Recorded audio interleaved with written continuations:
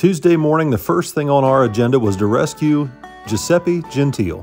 His Ford pickup dually conversion had converted one piece wheels into two piece wheels. And evidently, these wheels are hard to come by. And he got a hold of my brother. How far did you have to dig down in your trash can to find those? all the way at the bottom. Jeremy's a lot like Oscar the Grouch. He's very messy, but he never throws anything away. Everything is kept in his secret stash. And it's kind of a running joke when I get in his truck, I always go digging around to see what he's got hidden in there. A back scratcher? Or a jackass whacker. Jeremy's known for being a quick witted, self employed mobile mechanic. And around here, he's generally the first person someone calls when they're in big trouble. And I am happy. From dump trucks to skid steers, Jeremy fixes and works on just about anything. He's a happy man. Happy too. That's what happens when you call the old man's garage. That's right. He summons the god. So this morning, the god of mobile mechanics has been summoned to National Trail Raceway with his secret stash of 2003 Ford dually wheels. What's going John. on, man? Oh, same old. What about you? Another day. yeah. Today in the racing community. All the way from California, and you break your wheels. Oh yeah. You gotta see the other wheels. They're broken back there. These guys have hauled this trailer from California all the way out to Ohio. And now, these cast steel dually conversion wheels have left him stranded in central Ohio. They found this problem yesterday when they took the truck to a local tire shop to have tires put on and found the inside duals broken. So that started the hunt for some stock Ford wheels, which evidently has led somehow to Uncle Bucko. The trip from California to Ohio is a rough one, and this wheel problem is pretty minor compared to the trailer coming off the motorhome and hitting a guardrail. That happened last week. You're welcome. Good luck going down to Kentucky. Yeah. God bless you, man. Now, you guys got a long ride home. The way I see it, these guys are absolutely nuts pulling from California to Ohio in a converted Ford pickup truck from a single wheel to a dually, especially with this heavy trailer. But to each his own. We got them all taken care of and got them back on the road so they can head to Bowling Green, Kentucky for the next No Prep Kings race. Once we got Giuseppe back on the road, Jeremy headed up to the farm to help my dad, and I came back to my shop to help Billy work on his Nova. He was busy plumbing some oil return lines into the valve covers, and he needed to go to Jegs to pick up some fittings. And I decided I'd go with him, since I've got a few things I need at Jegs for the Malibu. Uncle Terry dropped off a brand new Quick Fuel 750 E85 carburetor a few days ago, but I wanted to pick up a new E85 tester and a fuel line kit for the carburetor because when I get home, I plan on making the switch from gas to E85 on the Malibu. By the time we got back, Jeremy had come back down from the farm and he was busy working on Billy's Nova, clearancing the frame for the tie rods off the rack and pinion. So while the guys are busy out in the shop working on Billy's Nova, I hopped in the Suburban and went down to the Speedway to get a couple cans filled with E85. But before I can put the ethanol in the tank, I first need to try and run out some of the pump gas that's already in the gas tank now. Generally, I would just use an electric fuel pump to pump the tank dry, but the Malibu still uses a mechanical fuel pump mounted to the block. So, since the weather was nice, I decided what better way to get rid of some gasoline than to burn it up, making a little cruise around Buckeye Lake. I went down, took some pictures and a few video clips, and then headed back to the shop.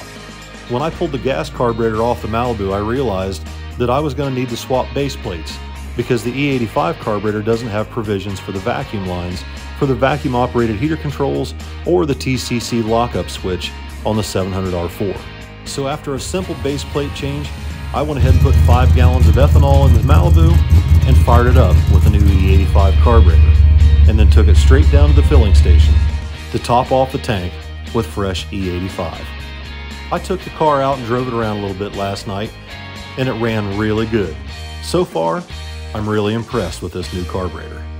All right, guys, so it's Wednesday morning. As you saw in the video, I got the carburetor swapped out last night. Uh, everything went really smooth. It was a little bit rich at first uh, because it still had some pump gas in the fuel line, but uh, after about five minutes, it calmed down. Uh, I adjusted the idle mixture screws, adjusted the idle speed, and everything's good. So I drove it around a little bit last night. It runs really good. There's no stumbles. Uh, it feels like it's definitely got a lot more low end power. Um, but today what I want to do is I want to take this car out and do a fuel economy test. I just want to see, because this is a big deal, a lot of people are concerned uh, about fuel economy. Uh, and it is a concern, it really is, because E85 is definitely uh, a little harder on fuel than pump gas. But uh, it's summertime here in Ohio now, or it's close, and it's getting warmer. And I want to bracket race and index race this car this summer. And uh, by my past experience with E85, uh, it's very consistent. And generally the engine tends to run quite a bit cooler. Uh, the intake manifold stays cool because it's uh, a lot like alcohol. It chills the intake manifold. So for a bracket or an index uh, application, it's really good fuel for that. But for right now, I want to concentrate on testing this car. We're going to take it down the interstate, run 25 miles down, 25 miles back, and we'll check and see what the fuel economy is. For those of you who may not be familiar with this car, it's a 1979 Malibu with 28,000 original miles, powered by a 355 cubic inch small block Chevy, flat top pistons with AFR 195 heads, March underdriven pulley set, inch and 5 8 headers with 3 inch dual exhaust. The car has a complete MSD ignition system and it has a Team G single plane intake manifold with a brand new quick fuel 750 E85 carburetor. The car uses a 700R4 transmission with lockup converter. The converter is a 3800 stall, but with the lockup option, it should still do pretty decent on fuel, despite the fact that it uses a 411 ring and pinion in the original stock 7.5 inch Malibu rear axle. I stopped at the speedway, topped the tank off with E85, and then me and June Pup hit the road. We record the mileage and then head down State Route 79 to hop on Interstate 70. I quickly verified that the speedometer matches the GPS on my phone to make sure that it's reading correctly before I head on the interstate, with the air conditioning blowing ice cold to keep me and June Pup nice and comfy.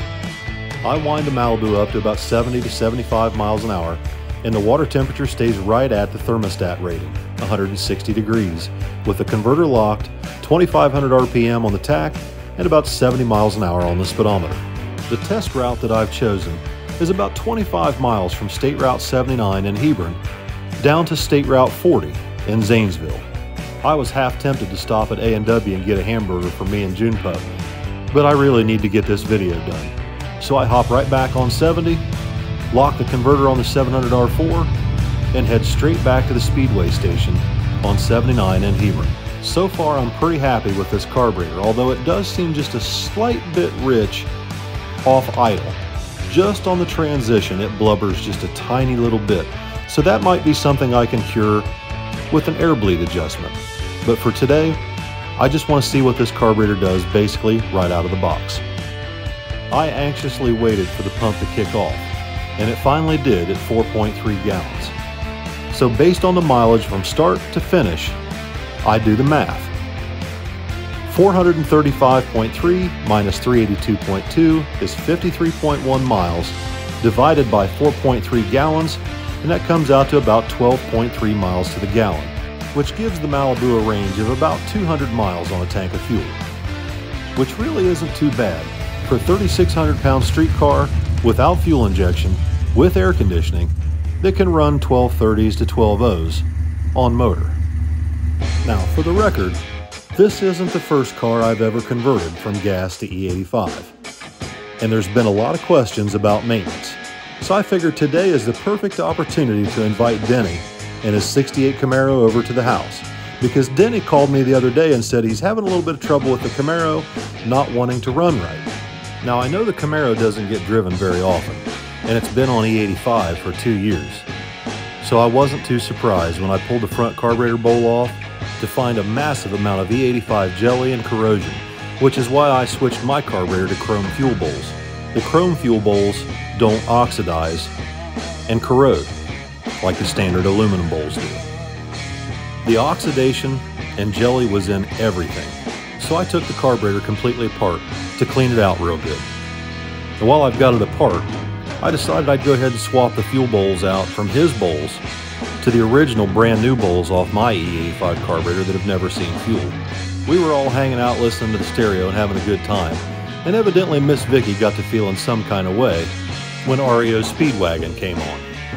I had just about finished up the carburetor about the time Vicky finished up her duet with Kevin Cronin. I took it outside and bolted on the Camaro and fired it up, and it was time to take it for a test drive.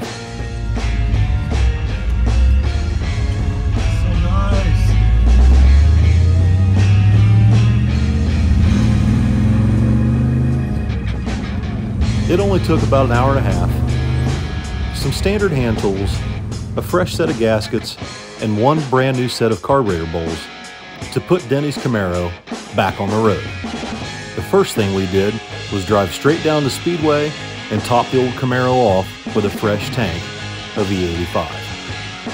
Denny absolutely loves driving his big block four speed Camaro around, especially when it's not overheating. So is it staying cool and everything? Yeah, it's running about 190, 195 tops.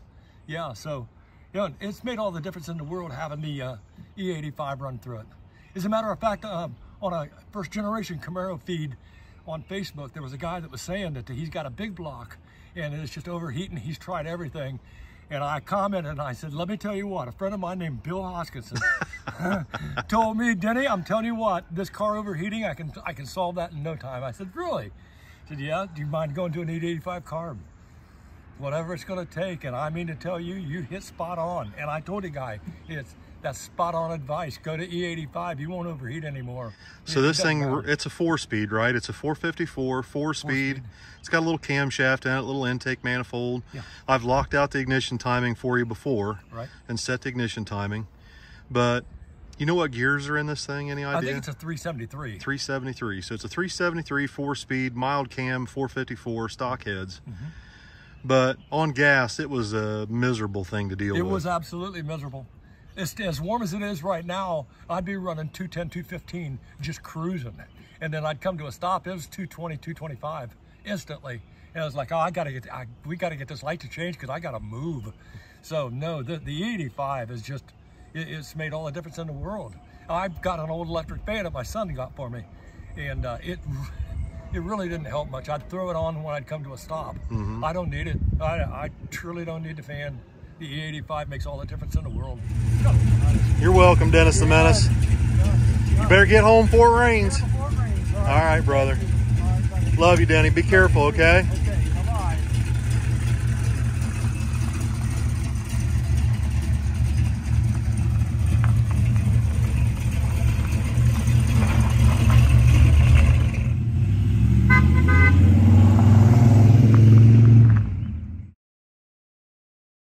Welcome back, everybody. So we got Denny all taken care of. We got the Malibu swapped over. Had a really good day today. We had good weather until this evening. It poured down rain right after Denny left. Uh, still pretty wet out there right now. I'm not sure. I haven't checked the weather for tomorrow. I'm not sure what we're going to get into tomorrow, but I did get a text message from Uncle Bob today. The cylinder heads are done for the 55 Chevys, 327. So if it's going to start raining and get nasty, looks like I may be working on this 327 out here in the garage so we can get the old 55 Chevy back on the road. In other news, I did manage to get Reggie Threlkeld's carburetor shipped out today. Actually, Vicky did. I helped her box it up. And uh, I went ahead and uh, autographed the base plate on the bottom of the carburetor, put my initials on it in case it makes any difference to him later on down the road. But Vicky helped me get it boxed up and got it shipped out. So Reggie, your carburetor's on the way. I'm sorry for the delay. I got busy uh, with No Prep Kings weekend and everything was just really hectic. We had company here from out of town and I just kind of forgot all about it. But we got that thing shipped out today. Plans for this weekend. I think, I think, don't hold me to it, but I think Billy's going to take the weekend off from racing to finish up the Nova. That's the plan that I've heard today anyway. Uh, he may try and take it testing someplace this weekend. Uh, I do know that I am going to try and race this weekend in the Malibu because I want to see how much better it runs on E85. I can tell you that just driving it around, it has much more low end torque. Uh, it gets through the gears a little faster. At least I feel like it does. I haven't had a whole lot of time to uh, drive it aggressively. Today I was more concerned about fuel economy range because uh, some of these drag and drive events are really cool. Uh, I'm really interested in doing some of this stuff with the Malibu. Uh, not trying to compete with, you know, fast cars with it, but just to be able to go and do it and create some content and enjoy it. Um, we've got the air conditioning blowing ice cold in the Malibu. Uh, it doesn't have to be on E85 to be able to cruise. In fact, it does just fine on pump gas. However, I like having it on E85 for bracket and index racing because the engine does run a lot cooler. Uh, it's easier to cool a car off after you make a pass, or you don't even really have to cool the car off after you make a pass. Uh, the car has a 160 thermostat in it, and on E85, it stays at 155 to 160 degrees in the intake manifold. Um, it just, it really runs nice on it. It sounds a little bit better. Uh, the cam sounds a little bit rowdier. I did mention that earlier today I noticed that it does have just a little bit of a rich condition just on tip in, just barely off idle. And I think that condition can be rectified with uh, a minor air bleed change. Uh, the jetting seems to be fine. You know, I haven't done any tuning on it. The only thing I did do was it comes out of the box with a 4.5 power valve, and I went ahead and switched that to an 8.5. And I do that in pretty much every single carburetor that I work on uh, because I like for the power valve to open a little bit earlier so I don't have to rely on the accelerator pump shot nearly as much to cover up that lean spot uh, from tip in on the throttle. But anyway, I plan on taking that Malibu someplace this weekend to do a little bit of racing with it. Uh, I believe National Trail Raceway, my home track right down the road here, has a Friday night test and tune this week. So you never know. You never know what may happen there. Uh, I know that I had a two tenths delay in the nitrous controller and a one second ramp to run 1140s uh, the last time I had the car out.